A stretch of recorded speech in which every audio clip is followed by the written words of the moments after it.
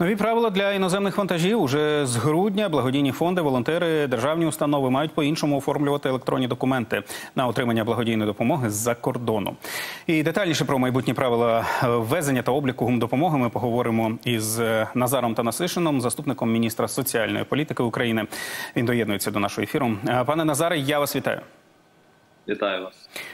Отже, як щойно я сказав, з 1 грудня набуває чинності постанова уряду, яка змінює правила ввезення і обліку гумдопомоги в Україну. Запроваджується елек... Е, єдина електронна система обліку, наскільки ми розуміємо. Розкажіть, будь ласка, для початку, власне, що саме змінюється, і що головне мета таких змін. Ключова зміна це створення цифрового і насамперед зручного сервісу для того, щоб декларацію, яка зараз подається переважно у письмовій формі, можна було подавати за допомогою електронної системи. Ця система має на меті облік всієї гуманітарної допомоги, яка буде ввозитись в Україну. Власне, ми мали проблему з тим, що багато новостворених громадських організацій, благодійних фондів не могли бути зареєстровані як отримувачі, адже стара процедура.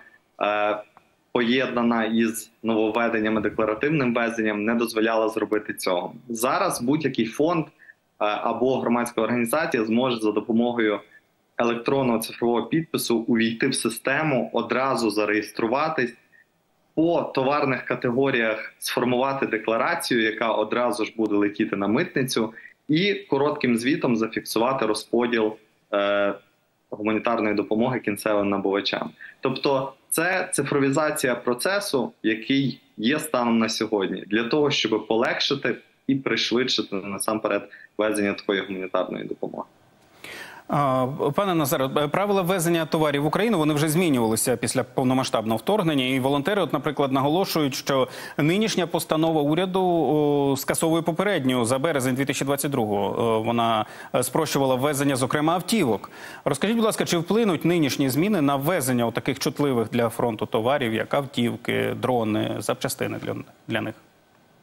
На нашу думку, такі зміни будуть позитивними, тобто вплинуть, але позитивному ключі, адже е, постанова нова скасовує гарантійні листи. Це ті листи, які потрібно було отримувати від командирів військових частин, якщо ви хотіли вести дрони або інші товари подвійного призначення. Власне, тепер таких листів не потрібно буде. Тому ми вважаємо, що це радше позитивні зміни. Угу. Ще серед е, скарг е, волонтерів це невизначеність щодо волонтерів фізосіб. Багато різної допомоги, як ми знаємо, возять саме вони і передають не організаціям і фондам, а напряму військовим. І от вони нібито фактично опиняються поза законом. Чи справді це так, і чи є ідеї, що з цим робити? Ми повинні розуміти, що станом на сьогодні закон України про гуманітарну допомогу визначає, що отримувачами гуманітарної допомоги можуть бути тільки юридичні особи. І так, ті, хто можуть ввозити сьогодні гуманітарну допомогу, це тільки юридичні особи. Що робить постанова? Постанова не змінює закону. Постанова цифровізує порядок ввезення. Тобто питання з іноземними волонтерами або з фізичними особами-волонтерами воно залишається відкритим, і ми починаємо працювати у межах робочої групи, до складу якої війдуть і народні депутати, і представники центральних органів виконавчої влади, заради того, щоби врегулювати це питання, щоб потім іноземні волонтери або фізичні особи-волонтери, які завозять гуманітарну допомогу, не опинились у сірій зоні і їм не загрожувала та чи інша відповідальність. Угу.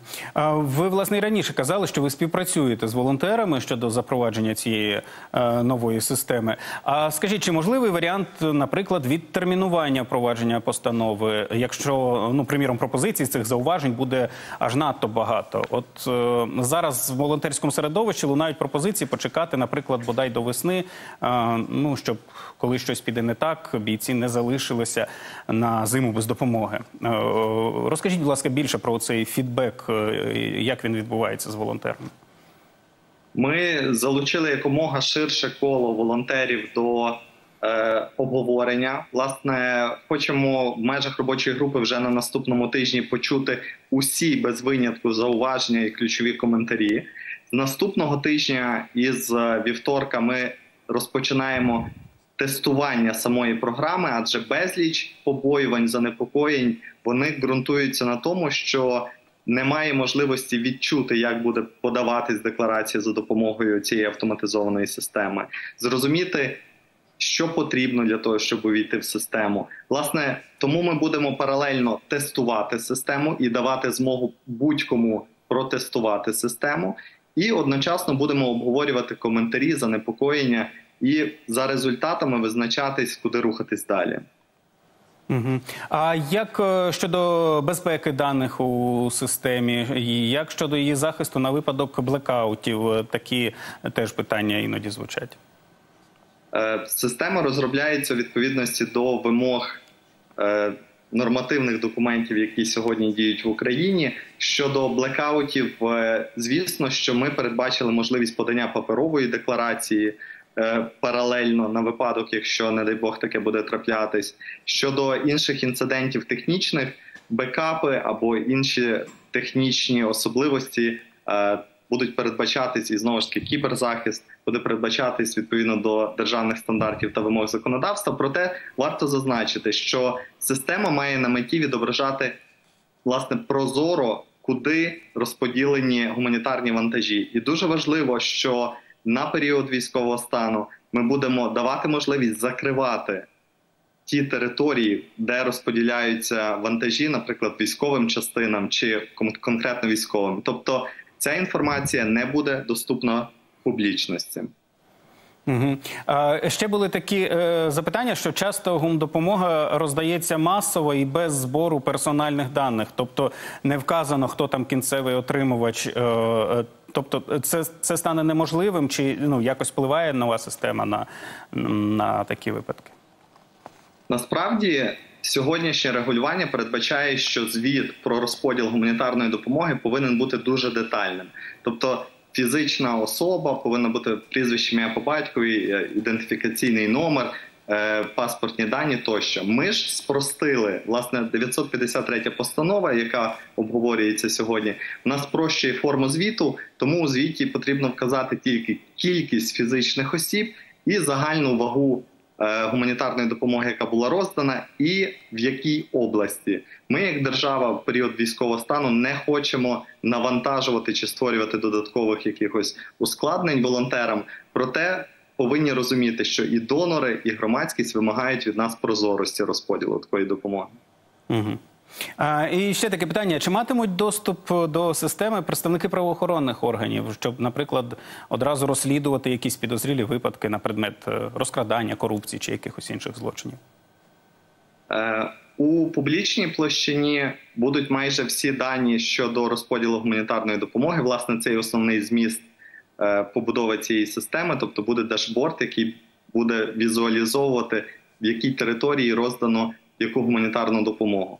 І звісно, що правоохоронні органи зможуть користуватися цим інструментом для того, щоб розслідувати ті кримінальні провадження, які, е, якими вони займаються. Угу. Пане Назаре, дуже вам дякую за те, що з'ясували ми з вами такі випадки, які багатьох дуже цікавили. Я нагадаю, це був Назар Танасишин, заступник міністра соціальної політики України.